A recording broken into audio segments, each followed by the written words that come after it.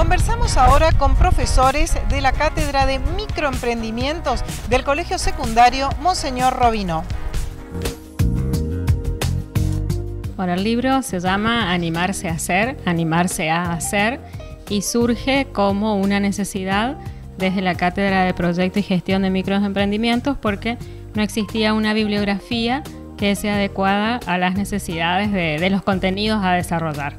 Entonces, este, en una tarea con los profesores del equipo de, microemprendimientos, este, se comenzó a buscar material bibliográfico, este, hacer investigaciones, este, asistir a cursos, capacitaciones, contactarnos con emprendedores locales y este, se vio la oportunidad de volcar todos esos conocimientos en un libro de texto.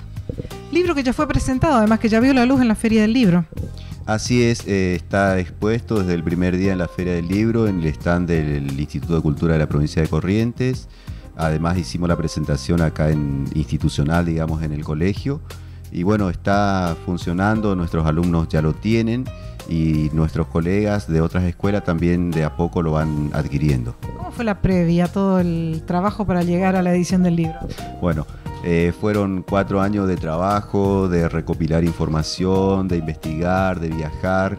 Eh, nos ayudó muchísimo ponernos en contacto con gente que está en el tema de emprendedurismo, el caso, por ejemplo, de Jorge Farizano, que nos ayudó muchísimo a ver que el emprendedurismo no solamente es un espacio curricular, sino que también en el contexto están las personas que están con sus ideas, están con sus negocios, lo están haciendo.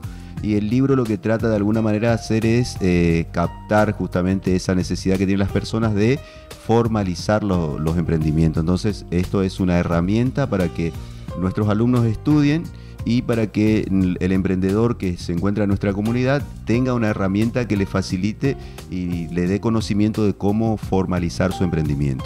Me imagino que destinatarios principales deben ser los alumnos y gente muy joven. Sí, en realidad surgió como una necesidad propia de la cátedra. Nosotros estamos enfocados en nuestros alumnos, pero a la, a la vez quisimos darle una impronta mucho más amplia.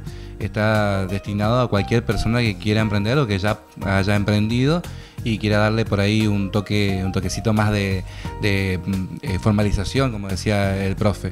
Eh, nosotros estamos convencidos de que la temática que está abordada en el libro es amplia para así cualquier persona que, quiera o desee emprender eh, pueda tener una herramienta de consulta.